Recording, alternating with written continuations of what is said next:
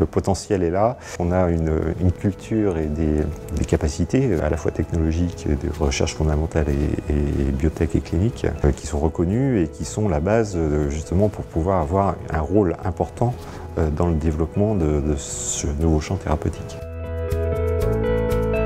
L'axe majeur de, la métropole est le développement économique. Et donc en ce sens, le site de Lumini est une priorité pour tout ce qui est développement d'économie de la, de la connaissance.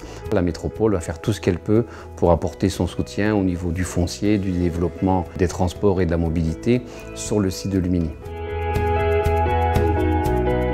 On a fait la démonstration du potentiel euh, économique dans le domaine des biotechnologies ici. Maintenant, il reste à transformer l'essai dans les années à venir en continuant à développer des projets immobiliers, les infrastructures qui permettront de rendre ce site attractif et puis aussi les services pour les entreprises.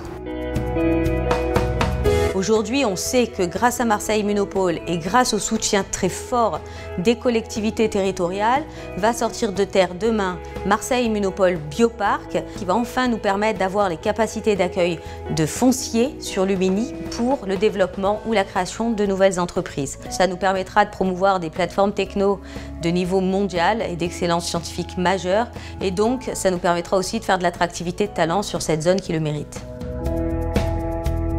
La région a identifié 12 OIR qui sont des opérations d'intérêt régional.